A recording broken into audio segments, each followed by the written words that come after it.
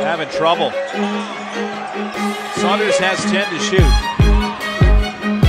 Graham to the cup. Gets it through.